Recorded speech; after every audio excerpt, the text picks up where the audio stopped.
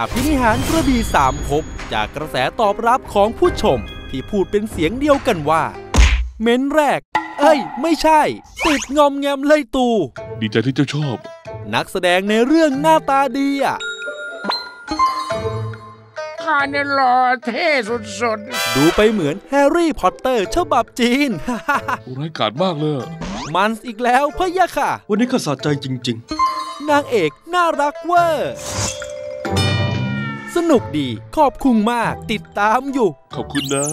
และความสุขที่คุณผู้ชมจะได้รับอย่างต่อเนื่องๆใช่แล้ว เนื้อเรื่องเข้มข้นฉากแอคชั่นตื่นเต้น พระนางที่ชวนจิ้นหวังว่าชีวิตที่เหลือของเจ้า จะมีดอกกุหลาบอยู่เป็นเพื่อน มีความสุขตลอดไปนะ รักเลยอะ ติ้งตองอภินิหารกระบี่สามภพทุกวันเสาร์อาทิตย์ 10 โมงเช้าทางช่องเวิร์กพอยต์